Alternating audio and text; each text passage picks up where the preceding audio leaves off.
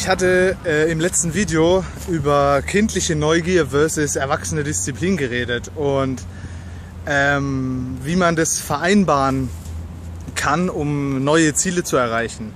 Und das Problem ist meistens natürlich, dass wir die erwachsene Disziplin bekommen. Die haben wir antrainiert bekommen durch Moral, Moralismus und gewisse Dinge, die wir zu tun haben und die wir zu lassen haben. Äh, streng dich an, schau, was, was, das, was aus dir wird und so weiter und so fort. Ähm, diese kindliche Neugier, die wir mal hatten und die uns dann quasi ausgetrichtert wurde sozusagen, die fehlt uns heutzutage. Und ich habe vorhin eine schöne Kurzgeschichte gelesen von einer englischen Autorin äh, im Rahmen von einem Buch vom Richard, äh, nee, vom Brad Blanton, glaube ich heißt er. Und zwar ging es da darum, dass zwei kleine Kinder miteinander gespielt haben und Mädchen und Junge. Und die haben Luftballons aufgeblasen und sie fanden es ganz toll, die ganzen Farben der Luftballons und dass einer länglich war und einer groß und dann haben sie gemeint, ach Gott, haben wir noch viel Luftballons, das braucht ja ewig, bis wir die alle aufgeblasen haben. Och, und dann irgendwann hatten sie keine Lust mehr, Luftballons aufzublasen, weil die Lunge ganz äh, überlastet war und die Lippen schon rau waren.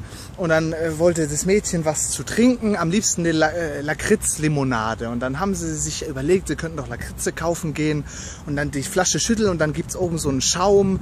Äh, den Lakritzschaum könnten sie dann trinken. Und dann hat der Junge sich aber... Ähm, äh, Gedanken gemacht, ach, er hat gar kein Geld mehr, der Onkel hat ihm gestern was gegeben, warum hat er das nicht behalten, um dem Mädchen jetzt was zu kaufen? Und dann überlegt er und überlegt er und dann fällt ihm ein, ah, wir könnten doch, äh, ne, ne, ich kann dir doch eine Limonade machen.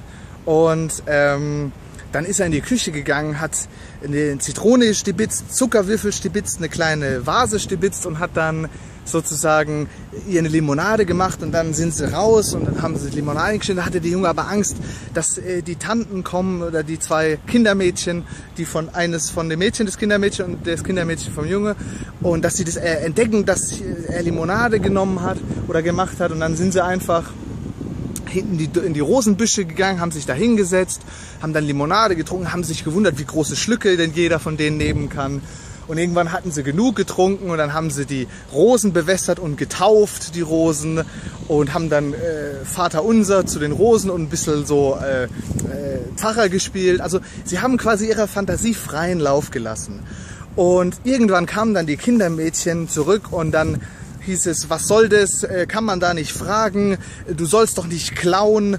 Und der Junge wusste gar nicht mehr, was, was, was er sagen sollte. Und das Kindermädchen vom Mädchen hat dann gemeint, äh, zu, zum anderen Kindermädchen, was soll das, wenn äh, sie mit deinem äh, Jungen da rumhängt, dann wird sie auch zur Diebin, meine, meine ist nicht so, das geht so nicht, dann haben sie sich auch verstritten, dann wurde, wurden beide Kinder weggerissen.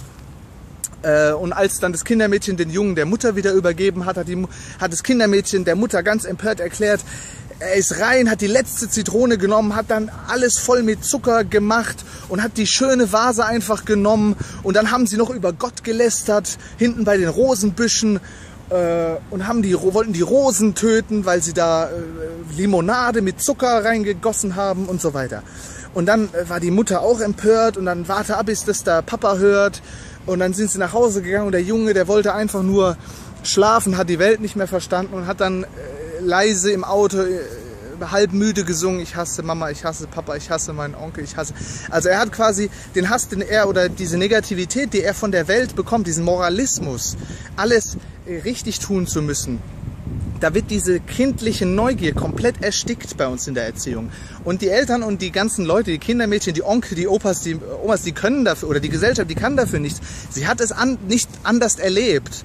Ähm, nur ist es wichtig, sich dessen bewusst zu werden, warum denn Kinder diese Neugierde verlieren. Und wenn man sich das, dessen bewusst macht, bewusst macht, dann verändert man schon was im großen kollektiven Bewusstsein und man ist schon mit der Welt oder die Welt ist dann auf einem richtigen Wege in eine richtige Richtung. Und ähm, diese kindliche Neugier heißt es wieder zurückzuerlangen diese Rollenbilder, die wir uns auferlegt haben, das Kind guckt dann, dass es alles richtig macht, dass es nichts mehr falsch macht, dass es keinen Ärger mehr bekommt. Das heißt, es schlüpft dann in Rollen, verheimlicht Dinge, sagt Dinge nicht äh, und so weiter. Und dieses Verheimlichen, dieses nicht ehrlich sein, das äh, führt dazu, dass man sich eine Rollenidentität aufbaut im Laufe des Erwachsenwerdens. Und wenn man dann erwachsen ist, hat man eine feste Rollenidentität und ähm, diese die hält man dann für sich selbst. Und indem man lernt, wieder die Wahrheit zu sagen, wieder das zu sagen, was man fühlt, was man denkt, direkt raus, ohne seine Rolle zu schützen, die überhaupt nicht real ist, sondern die nur eine Illusion ist. Indem man das macht, tut man sich von diesem und auch im, bewusst wird im Hier und Jetzt lebt, nicht mehr im Verstand lebt und denken muss, okay, was muss ich jetzt rollentechnisch tun, damit ich später keinen Ärger bekomme oder damit diese Person mich mag oder und so weiter. Diese Dinge einfach bewusster zu tun und wieder die Wahrheit zu sagen, wieder das zu sagen, was man fühlt, was man denkt, ohne Angst zu haben, zu erkennen, dass die Rolle nicht du selbst bist, sondern dass das, was du selbst bist, das ist, was du wirklich fühlst und das auszudrücken, bringt dich wieder in Kontakt mit dir selbst. Und das zu tun, bringt diese kindliche Neugier wieder zurück, von der ich gesprochen habe und die so, so, so wichtig ist bei uns heutzutage, äh, um auch persönlich weiterzukommen, um persönlich äh, die Welt wieder farbenfroh, wieder lebendig zu erleben. Das noch eine kleine Ergänzung zum letzten Video und wir sehen uns im nächsten Video. Ciao.